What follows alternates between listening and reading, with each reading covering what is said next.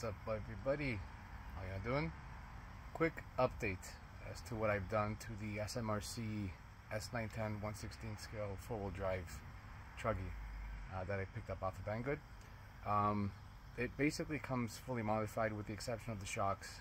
I've driven it uh, with in the stock uh, with the stock shocks. It is quite bouncy, but it's kind of the nature of the being a truck. Um, it could be smoother, but you know what? That's kind of part of the fun, and the shocks do look good the way they are. So I'm just going to go ahead and show you guys what I've done. Obviously, I've applied the front stickers here on the, I guess the simulation headlights. This came already at, on the truck, so I really couldn't do much with it. Um, so anyways, I had to leave that one as is. But all I've done is I've added uh, a little sticker here on the side here, one of my favorite racing companies. Um, one tenth scale uh, buggy tire package. Um, so as it as it was with the original with, with the originals uh, tires, it basically it ran pretty good off road. Um, you know, I wanted something with a bit more top end speed. I want to actually top 60 kilometers an hour. So I think with these I'll, I'll be able to do it. But with one more thing, I went ahead and added a 3S 35C LiPo battery to it. Um, it can run 3S. Um, comes with the uh, with the, with the 2S LiPo as previously mentioned in my first video.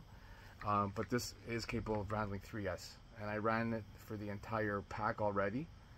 And um, and, and I just cleaned up the tires before the video.